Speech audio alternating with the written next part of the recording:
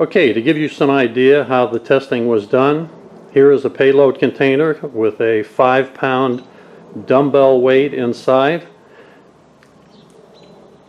hanging from a small plastic hula hoop that's been downsized to accommodate the size of the line spread on the parachute and to simulate that.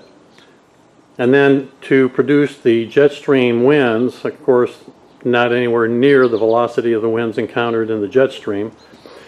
I have three identical, brand new Lasko fans that will be running so that the airstream will be distributed evenly across about a an 8 to 10 foot area. So depending upon the anti-rotation device being tested, uh, it will cover the entire width of the device.